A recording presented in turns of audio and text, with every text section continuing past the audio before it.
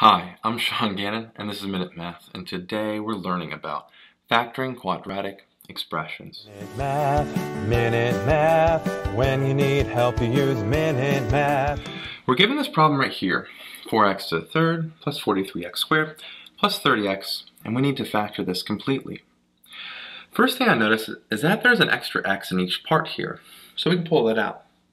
Pulling that out, we have x times 4x squared plus 43x plus 30. And there we have it. Well, we now have a quadratic in the parentheses, and we can factor that. Our a value is 4, and 4 is either a combination of 1 times 4 or 2 times 2. Our c value is 30, and that can either be, well, 1 times 30, 2 times 15, 3 times 10, or 5 times 6. And what I'm looking at here is I want to take one of the pairs from A, multiply by one of the pairs from C, add it to one of the pairs by A, to, uh, added to one of the pairs by C. We want to try to get our B value, which is 43. So instead of testing every possible one, I try to make an educated guess and try to get something that's close to 43. Well, 4 times 10 is going to be 40. That's pretty close. So let's go deal with these pairs here.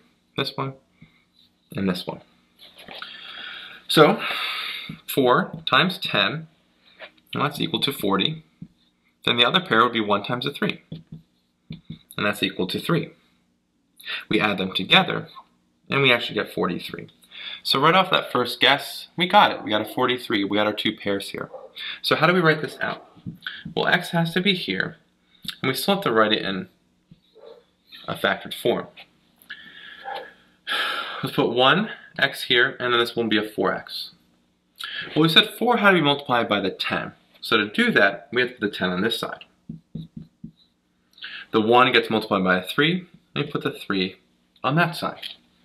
And now we actually have our answer in factored form. So here's our final answer. x times x plus 10 times 4x plus 3. I hope this video was helpful for you. And if it was, please subscribe to this YouTube channel and like this video. This helps us make more free math lessons for you and for everyone else. So as always, thanks for watching. Minute Math, Minute Math, when you need help you use Minute Math.